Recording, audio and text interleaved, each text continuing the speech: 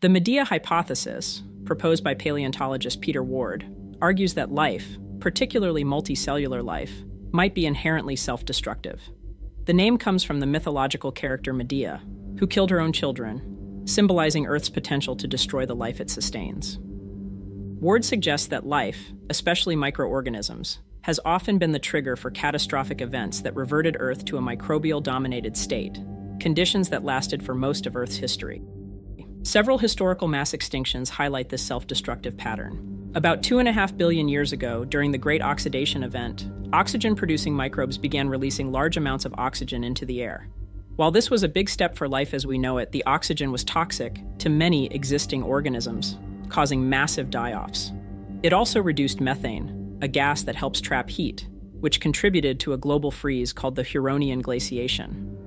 Later, approximately 675 million years ago, microbes removed a lot of carbon dioxide from the atmosphere.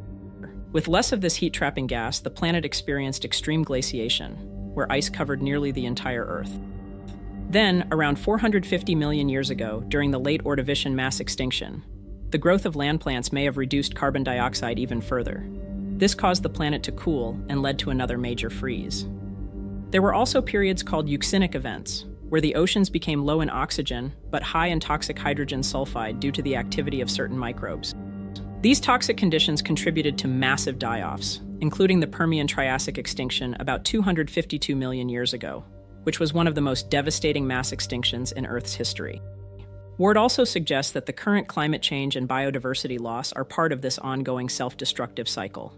He predicts that in 500 to 900 million years, Earth's climate will warm as the sun brightens causing a drop in carbon dioxide levels that will make it impossible for plants to survive, signaling the end of complex life on Earth. Despite this, Ward remains cautiously optimistic. He proposes that intelligent life, such as humans, might develop the ability to prevent or mitigate these destructive cycles, potentially avoiding the fate of the Medea hypothesis.